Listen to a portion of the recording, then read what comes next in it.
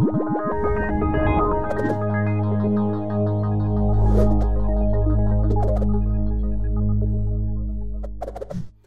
I'm Treasure, a JavaScript teacher here at Treehouse. If you've been studying JavaScript for any length of time, you've probably heard of popular JavaScript frameworks and libraries like Vue, React, and Angular. These JavaScript frameworks and libraries do a lot of things, but in a nutshell, they're all designed to make it easier to add interactivity to web applications in an organized and maintainable way. Today, I'm going to introduce you to Vue.js, a JavaScript framework that is easy to get started with and incredibly fun to learn. Vue.js is in use by several well-known companies like Expedia, Nintendo, IBM, GitLab, and Sainsbury's.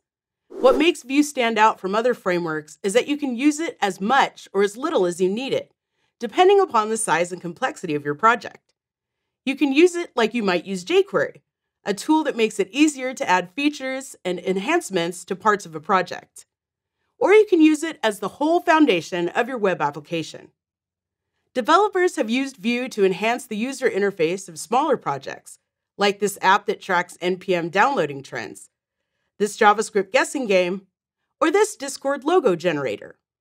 In this course, we won't be learning how to build a full-blown production-ready application, but we will explore how Vue can make it easier to display and manipulate data, add interactivity by responding to events and user input, and keep code clean and organized.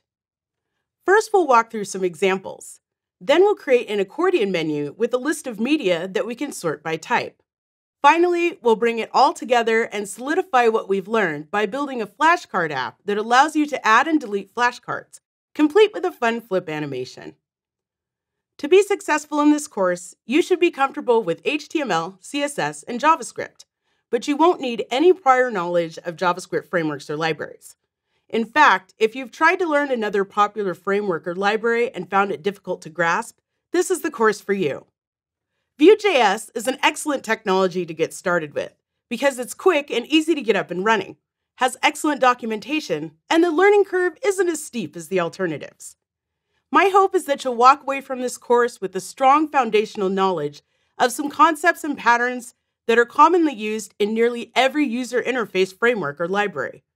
This foundation will not only help you build amazing things, but make more daunting technologies like React or Angular easier to learn if you want to. After using Vue, you may decide that you don't need anything else. As you make your way through the course, don't hesitate to use the video playback controls to speed up, slow down, rewind, or fast forward as needed. On many videos, you'll find teacher's notes containing further information, troubleshooting tips, references, and further reading. Remember that you can pause the course to practice or study what you've learned at any point along the way. Before we dive into some code, Let's talk a bit about JavaScript frameworks and libraries, what they are, and why you might want to use one.